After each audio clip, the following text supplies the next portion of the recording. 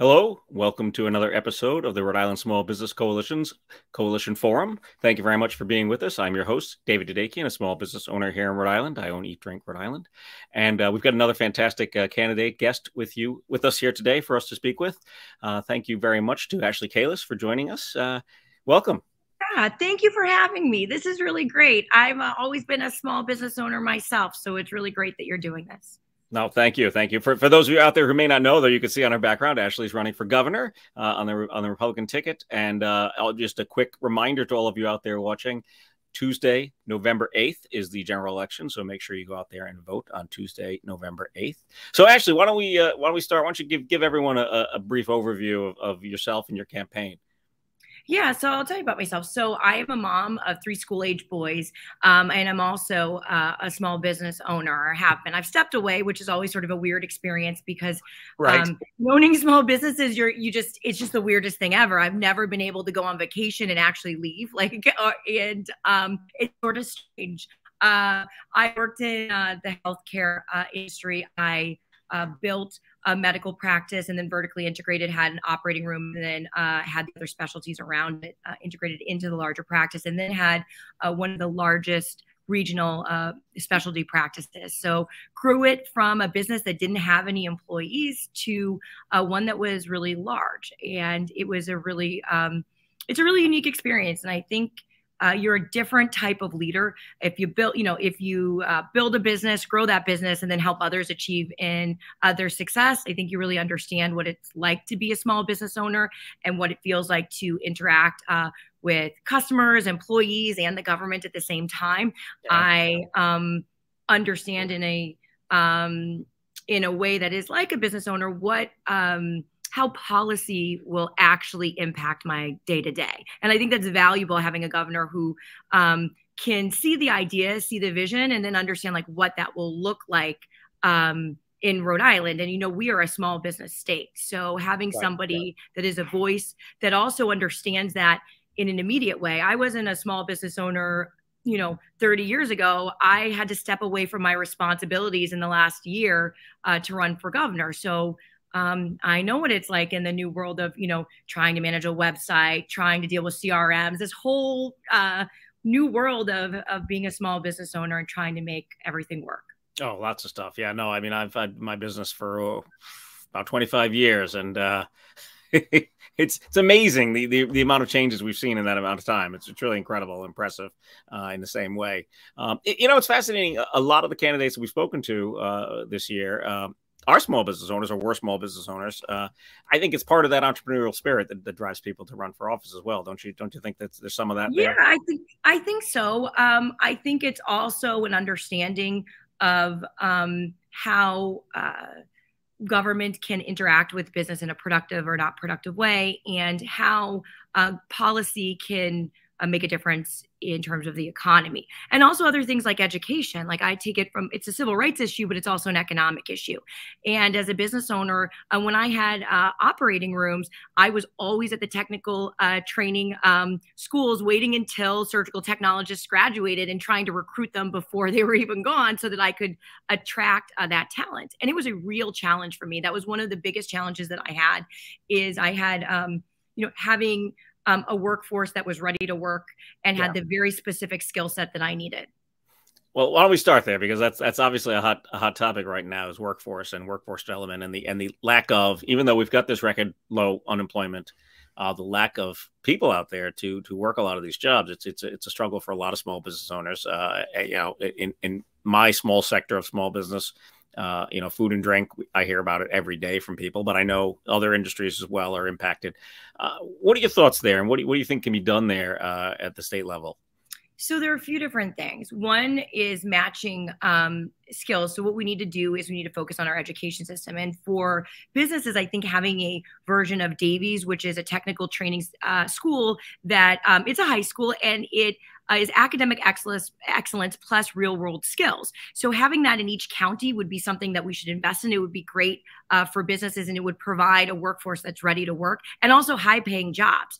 Um, they're finding that um, way to interact with the education system would be very helpful for employers. Also, affordability is a personal issue, but it's also a business issue. Is if right. you cannot find housing for employees, if um, it is not affordable um, to you know to live in this state, you can't recruit a workforce and you can't uh, retain them. I've had employees move to other states because they just have a better quality of life because it's more affordable and those are sort of macroeconomic issues that really the government could help with and they could help small businesses as a small business you can't really um, make you know by yourself deal with an affordable housing crisis. But the government can help and that'll in turn help small businesses be able to attract and retain talent. Absolutely. You know it, it's fascinating. You know we we've touched on this many times here uh, in, in the interviews I've talked to and, and some of the uh, uh, appointed officials that I've talked to. You know, we talk about small business, but it really does, you know, you brought up education and housing already all these things really do feed into how uh, how small business works and, and thrives here in Rhode Island. The other big one uh, is that we we brought up many times here, and I'd, I'd love to hear your thoughts on it. Is infrastructure. Yep. Uh, so infrastructure childcare would be another one that is always on, on, my mind. Yeah, we could talk about that as well. I mean, and so we think about infrastructure, and I also want to tie that into economic development and economic development programs. So what we, what a government invests in and how invested money um, really impacts uh, businesses. The role of the government really should be investing um, in economic development projects where everybody can benefit, where you're not picking winning or losing firms, but instead creating the infrastructure, whether it be educational infrastructure or roads, um, to uh, ensure that businesses can then all use that collectively to grow. And so, what we really need, and I think with small um, businesses in particular, is if we have a government that is able to deliver those services um, well, make sure that, I mean, listen, I was held to my contracts. A contract is a promise, and making sure that um, government is operated in a professional manner that uh, expects results, um, has a clear and transparent uh, contracting process uh, is really, really important. Um, we need to invest in infrastructure. We have money. This is the incredible thing. Like as um yeah. as a business person, I'm like, we have political will and money. Like you never get those things together. And so what you need, we have that. Now you need a leader who's going to uh, deliver results and make sure that we do not uh, waste this money. And uh, for me, uh, it's very important to have somebody who isn't beholden to special interests, um, that is able to be a competent administrator and really an honest broker for the people of Rhode Island. Uh, small businesses just, you know, just want that. It's just like deliver results for us so that we can grow. Yeah, no, very true. Uh, so you mentioned uh, not being beholden, and uh, uh, you know, this is your first time running for office. It is my first time running for office. Yeah. So, uh, explain to us a little bit about your background. Uh, obviously, running a small business, we know uh, as business owners, but for people out there who aren't aren't, aren't uh, business owners themselves that are watching this, uh, leadership is key.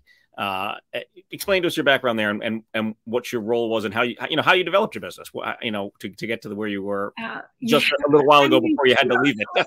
like everything in in business, you you start out trying to see what will make it work, and the reality was that. um so it started off as a medical practice. We were doing uh, plastic and reconstructive surgery, uh, providing patient care, and um, we you know worked to develop relationships with other physicians, and then we also went out and got our patients ourselves. So we grew the uh, organization um, from a very small one to a very large one. And then, um, but through that process, I did everything from answering the phones to managing a staff to also like starting on our first website, learning all about pay per click and all of those things. You know, at the time it was websites and then it became social media. So I went through that entire process and was able to, um, you know, really build that. And in business, you know, you can have vision, um, but if you don't have substance, then you're broke. And so having a business, you know, person that understands like you can have all the vision in the world, but if you can't get it done, it really doesn't matter.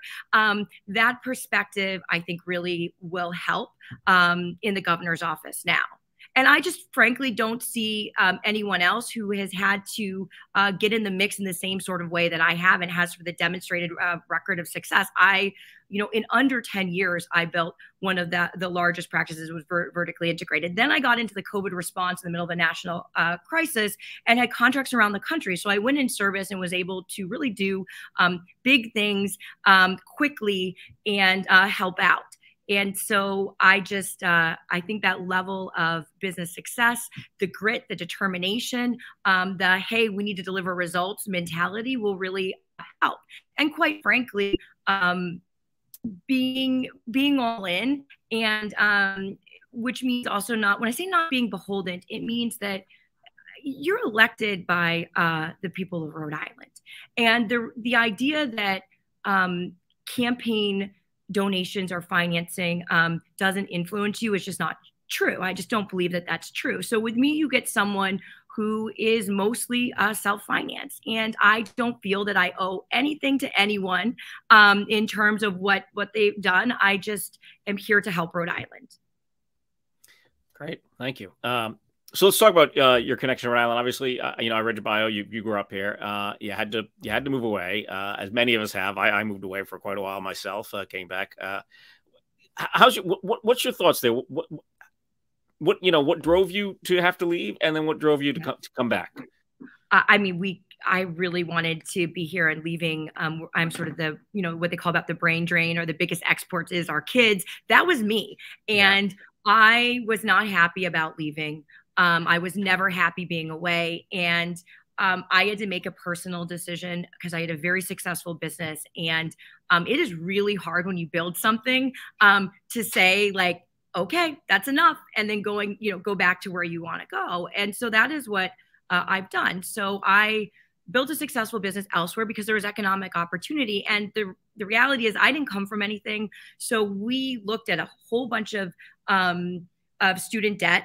Um, we it was you know 2009ish era where there was 10% unemployment in Rhode Island. The economy wasn't great, and we just didn't think that we could make it here in medicine. We were ranked uh, the worst state for doctors to practice in right now. So it wasn't great then. It's very bad now. The decision was one about um, survival for us economically. And we wanted to have a family. Um, and so we left. But I was able to come back. And when I came back, the same problems that made us have to leave were still here. And the issue is that we are, um, we're a state with big problems but these problems are solvable. It is a matter of political will and leadership.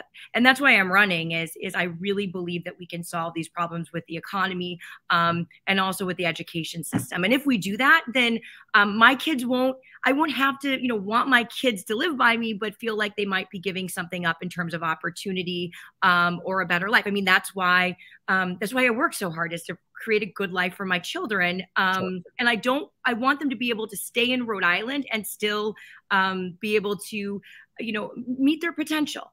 Um, and I just am afraid um, that that might not be the case if we don't have a change in leadership. Understandable. Understandable. Yeah. I mean, uh, you know, as a parent myself, I, I, I hear what you're saying. I, I, think also to your credit, uh, you know, being a parent is also a form of leadership and running a small business many days.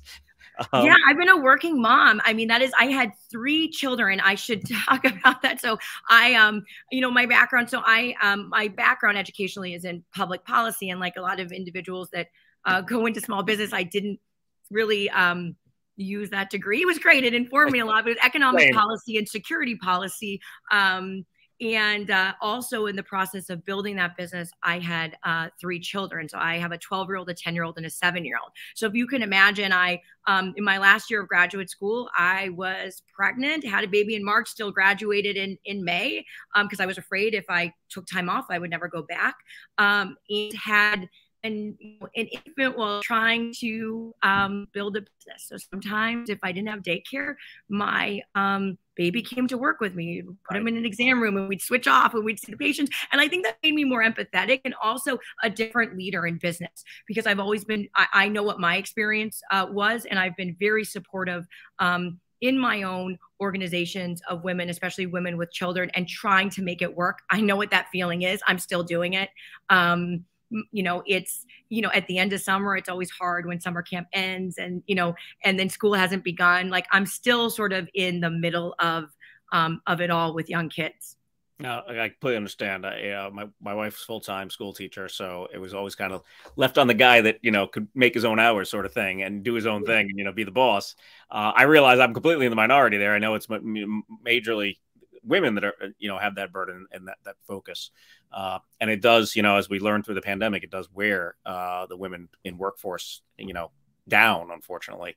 Uh, yeah, it'll, it'll hurt women in the long run. I mean that's what we don't talk about a lot which is um, the gap uh, that was caused for a lot of women in the workforce during the pandemic is because it was just on even not knowing um, when school would occur or having that instability made it very very difficult to have a job um, and also uh, be a parent. And and i had to uh, you know in getting involved in the pandemic response i've always been a working parent. Um, but i made some decisions about um, you know who I was helping and and my overall goal to uh, help in service in in the medical um, world where I frankly you know had to leave my kids and when they needed me the most during remote learning. And um, they didn't do very well. I still feel you know badly about it but it was a decision that I had to make and I was torn either go to work or help my kids and I had to go to work. Right. Yeah, because if you didn't make the money, that's not going to help them either. I mean, you know, that's the reality yeah. of living here and being part of, uh, you know, owning your own business. And we all thought it would be short too. We're like, you'll be. I, I, was like, I think they'll be okay for a month, and then a month. You know, it just, yeah. it was one of those things where you're trying to make the right decisions, and you know, it's it's been tough. And I think we, um, when you look at workforce participation, um, you know underemployment and sort of the challenges in getting the economy moving again i don't think we should underestimate how um, covid and those policies impacted women and, and may have an impact on um, women going forward because there may be that gap and that gap um, in terms of pay experience can lessen we have an obligation to address that yeah, good point. Excellent point. Okay, so you came back to Rhode Island. Uh, what, where, where'd you move back to?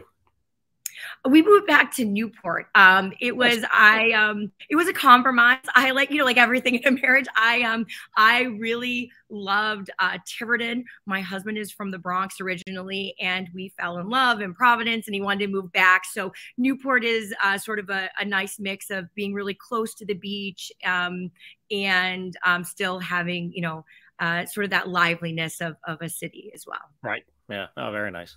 Uh, so you, you, mentioned it earlier. Let, let, us try and address uh, some of the things you said. You know that were kind of a hindrance on your on your business growing here. Um, you know, we all see it. All the small business owners see things. You know, we could list for days. You know, unfortunately, some of the things that keep us from growing our businesses, things that nature. What specifics uh, in in your field uh, did you feel were a problem? What what do you think you can address as governor?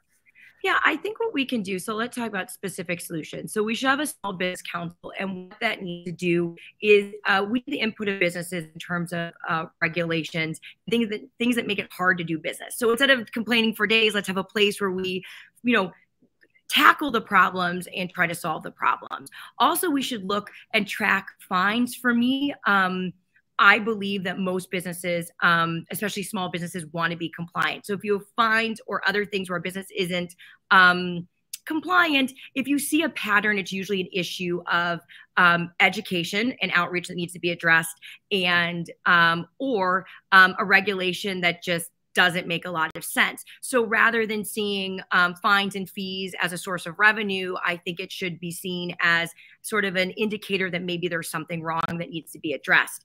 I think that we need to have a service center uh, for businesses. You should not have to go to multiple different places in order to get all the information that is um, I wouldn't say it's unique to Rhode Island, but um, I've done business in other states. I think that's an advantage. I've done business in multiple other states, so I have different reference points for what works well and what doesn't.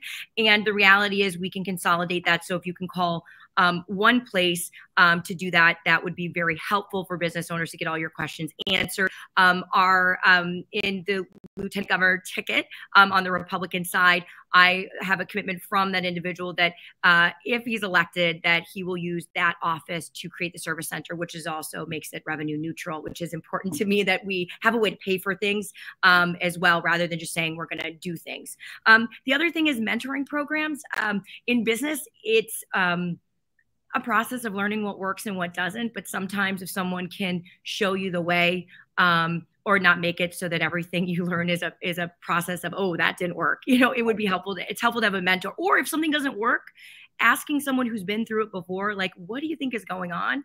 is really helpful. Um, so i think that that would help. I've talked about investing in technical education. Um, i that was a struggle for my growth is the inability to find um, specific uh, members of my team. For me, it was surgical technologists. It was always a challenge because um, it's such a specific skill set. And so, if um, and I could have hired as many as could have been produced, I can't even think. But it actually to the couldn't open additional operating rooms because I couldn't staff them. And sure. Um, we need technical training programs that meet um, the workforce needs and these are really high paying jobs like that's a very it's um it's a job that um you know can pay almost hundred thousand dollars a year and um, I just couldn't find people um, to do that job. So that's it. And then also lowering taxes. Um, we could do the sales tax, but really um, looking at the overall tax burden and making sure that we're regionally competitive. What we can't do is take the only um, competitive tax in which you know the corporate tax and make ourselves uncompetitive in that in that way as well. But I think really just looking at it's not a specific tax because at the end of the day it's just how much am I paying in fees and taxes um, that yeah. really generally matters to someone, not which one. It's just like overall, where am I at the end of the day? So right. we need to do that to be competitive. Um, the other thing is um, that I did notice here is that the electricity costs are just um, brutal. They're really bad in Rhode Island, um, like very shockingly high. And I do have business interests in other states, and it really does not make a lot of sense. So, in the short term, we need to provide immediate relief because we are looking at increase in electricity costs, and we can't. Uh, push businesses that are already on the brink because everything is more expensive over the edge. So immediate relief, you know, looks like reducing um, you know the tax on electricity that helps um, just to provide a, a, a, way for us to get by or for businesses to get by when things are very high. And then we need to look at the long-term solution to that because our, our costs are just higher than other places. So whether right. it's investing in the infrastructure so that we don't have that issue um, or really having a serious conversation about like why you know it's like 30% higher um, for businesses and then 90% higher for um, industrial businesses which is just um, it doesn't make sense um, that the rates are so high. And that is going to, in the long term, impact our, our growth. But we do need immediate relief because, you know, the whole, um, and this is a very, um, coming from business, the whole I'm going to study it for two years approach um, is not something that I've ever had the luxury of doing. Like, that's shocking to me that, you know, and you just, I also think that um, that perspective of we're not doing studies to do studies. We're doing studies to find solutions, and we need to get there very quickly. Um, I think will make a huge difference in this state because um, I don't want a 200 page study that doesn't result in something that we can do to help people immediately. And that study can't take forever. And yeah. I see a lot of that going on here. Um, and just with me as governor, that that'll stop because that just I wouldn't have been able to survive in business. So it's a little bit shocking to me that um, delaying is um, a mechanism of not providing help. And, um, you know, it just businesses don't work that way. Yeah, no, and government doesn't need to either. And you know, government is different than business, but there are some things that we can do to make it so the government is more responsive. And yes, you need to do studies, um, but how long they take, how much they cost, and what they deliver at the end. Um, if you take more of a business approach, uh, I think that that will actually benefit the state. Yeah, it's a very interesting perspective. I, I, I, don't don't disagree with you there that the the the number of studies and length is is really something.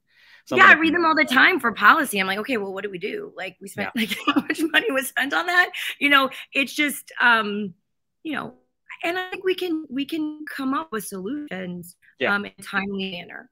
Yeah. So let's address uh, since you you have a very uh specific area of, of knowledge and expertise that some of the other candidates don't have uh, in regards to healthcare. Um, what do what are your thoughts about healthcare as governor? What what you know? It's it, uh, there's lots of layers to it. It's a huge problem. So we yeah, I know. which part of healthcare do we yeah. want to talk about? Rebalancing, uh, yeah. long term care. Or, um, so you know, uh, we so there's a whole i mean first off uh, medical practices are small businesses most of the time and if yeah. they're independently owned and so they act like small businesses and um, are very important to the community.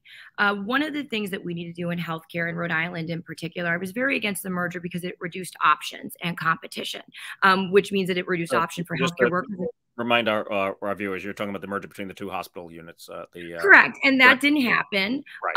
um but i think we should talk about it just generally because philosophically in terms of sure. who candidate did support it or didn't take a position i guess and and that's something that should have been that is a very clear economic position and healthcare position to take.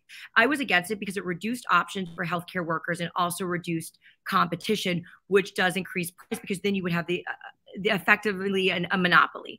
And so, what we should work to do is we should work to have a better healthcare environment. We shouldn't be ranked worst to practice medicine in, in, in the country. Part of it is those issues with affordability that we need to address that are sort of systemic reasons that our economy is sort of stagnated and, and we have problems. But other things have to do with um, regulation. We could have compact licensing so that um, you know nurses can sort of move around and and um, it's not so hard to get licensed here in Rhode Island. That's the standard.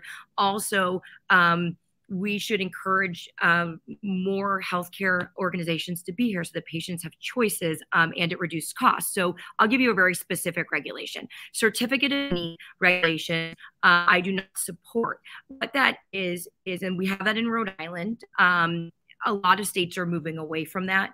Um, what that is, is um, let's say that you want to open a surgical uh, center. I'm just giving a, an example. And you're not able to just open one. You have to basically do the equivalent of asking your competitor and the government whether you should be able to open that business, whether they need you. I mean, what do you think your competitor is going to say? Yeah, we'd love to have you here. They're going to say like, no, we're good, we're good. And so that um, that came from the philosophy in healthcare um, that healthcare it came from an old time that healthcare was like a uh, something that was like a utility market and it's not anymore. So moving the idea from a regulatory standpoint of what healthcare is now um, moving the state to that place will increase competition. But making sure that you know you don't have regulations that there's housing um, and that there's competition that uh, physicians feel that they can start medical practices and be successful independently um, that's really really important also raising uh, Medicaid rates. That actually helps independent physicians. And then that helps everyone. If you're helping independent physicians, which are the small businesses, the most vulnerable businesses, you're helping the entire healthcare industry. That's why I focus on, on um, those small businesses is because, and, and any small business, if you're helping a small business, you're helping everyone. No, especially here in Rhode Island. I mean, it's you know, it's the it's really the backbone. If you took all the small businesses together, it's a, it's the largest sector of, of the economy yeah we're small we're a small business state and we should be proud of that because that makes us innovative. Um, it's just a great thing to be. I think that um, small business is the best business. Entrepreneurs are great um, and as a state we should be proud of that as our identity and we should support it as well. Yeah absolutely. Uh, so I, I my, my last question uh, you know obviously we've got a very democratic uh, General Assembly, and and I certainly don't think that uh, uh, the state of Rhode Island or any state really for that matter uh, see the the divisiveness and and, and infighting that there is in, in Washington D.C. But as a uh, Republican governor, how do you feel uh, working within our system here in Rhode Island? What, what are your thoughts there? I will work. I mean, this is like this. I'll work with anybody who wants to work on the issues together, and I plan to work. Um, across i mean across parties that just that has to happen in order to get things done.